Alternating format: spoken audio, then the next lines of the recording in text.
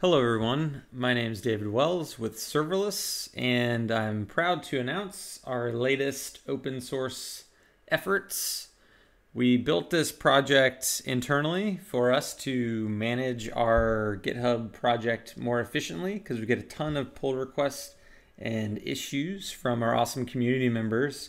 So we decided to build a dashboard that automatically pulls in GitHub issues and PRs and displays them on our site and lets us sort and see kind of what activities happening where and give us a bird's eye view. So we built a project and thought it was so cool that we wanted to make it extensible for anyone to use for any open source project.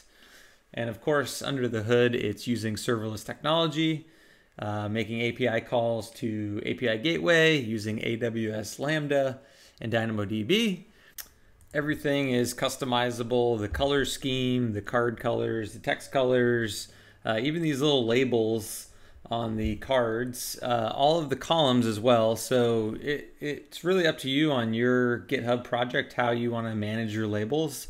And these columns are fully customizable. You can add or remove columns add as many as you want.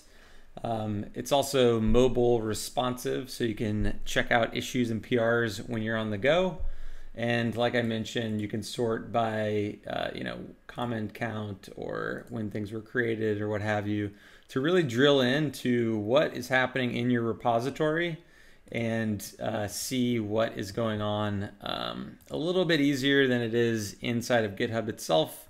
Um, and this is completely uh, embeddable on your site, or you can build a standalone app and toss that up on a subdomain somewhere. Um, and the repo is over here at GitHub, github.com slash serverless slash scope.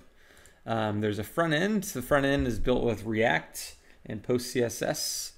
Um, the back end is built with the serverless framework, and we are uh, basically leveraging AWS Lambda and API Gateway and DynamoDB. Um, it's really simple. The back end, um, basically there's a webhook listener that listens to GitHub issues and pull requests and automatically updates those items in the DynamoDB table. The entire uh, stack you can set up and deploy uh, under the free tier of um, AWS. So don't worry about being charged for anything.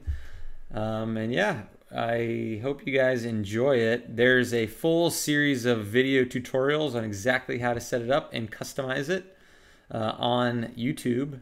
Um, those links are in the repository.